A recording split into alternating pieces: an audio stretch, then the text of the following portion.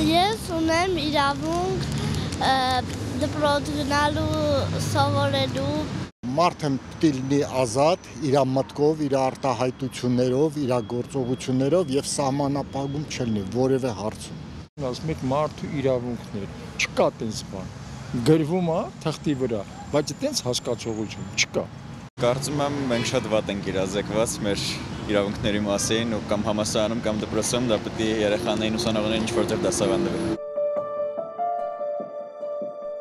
Քաղաքակիրթ աշխարհը դեկտեմբերի 10-ը նշում է որպես Մարդու իրավունքների պաշտպանության միջազգային օր։ 1948-ի այդ օրը ՄԱԿ-ի գլխավոր ասամբլեան ընդունեց Մարդու իրավունքների համընդհանուր հռչակագիրը։ Յուրաքանչյուր ոք ունի շրջադարձային այս փաստաթղթով ամրագրված բոլոր իրավունքներն ու ազատությունները առանց որևէ տարբերակման։ Մեր երկրի սահմանադրությամբ մարդու եւ քաղաքացու հիմնական իրավունքների եւ ազատությունների հարգումն ու պաշտպանությունը հանրային իշխանության պարտականություններն են։ Մշտապես քայլեր են ձեռնարկվում օրենսդրական դաշտը բարելավելու տեսանկյունից, որ เป զի մարդկանց իրավունքների պաշտպանությունը լինի հնարավորինս անխոցելի։ Այսօր առաջնային է Ադրբեջանում գտնվող մեր հայրենակիցների անհապաղ հայրենադարձման հարցը։ Հայաստանի Հանրապետության կառավարությունը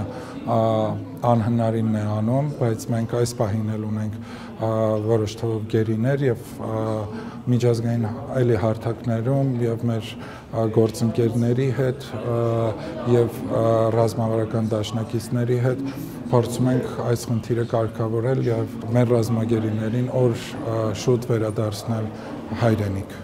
Սերտ է մարդու իրավունքների պաշտպանի եւ ազգային ժողովի համագործակցությունը։ Մարդու իրավունքների պաշտպանը տարեկան հաղորդում է ներկայացնում ազգային ժողով իր գործունեության մարդու իրավունքների եւ ազատությունների պաշտպանության վիճակի մասին։ Ազգային ժողովի համապատասխան հանձնաժողովի հետ եւս արդյունավետ համագործակցություն կա։ Քանի որ կարևորվում է յուրաքանչյուր քաղաքացու հայտնած բողոքը եւ մարդու իրավունքների պաշտպանի աշխատակազմի համար ըստ էության էական չէ թե այդ բողոքը որտեղից է ստացվում, իհարկե բնականաբար ազգային ժողովից ստացվող ազդակներով եւս իրականացում է բողոքի քննություններ, Այս ընթացքում եւս ազգային ժողովից ընդհուպ ոչ գրավոր ձևով, այլ պարզապես աշխատակարգային կարգով կոմունիկացվել են որոշ խնդիրներ, որոնց ընթացք է տրվել եւ հնարավորության դեպքում նաեւ դրական լուծումներ են տրվել այդ խնդիրներին։